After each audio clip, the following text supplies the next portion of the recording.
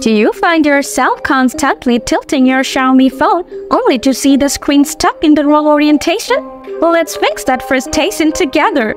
In this easy-to-follow guide, I'll show you exactly how to toggle auto-rotate screen on or off on your Xiaomi device. First off, grab your Xiaomi phone and open the settings app.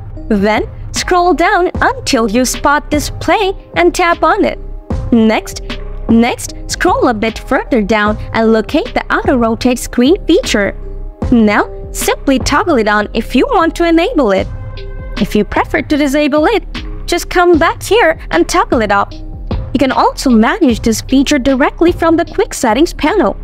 To do that, swipe down from the right side of your screen to access the Quick Settings. Look for the lock orientation icon and tap on it to toggle it on or off.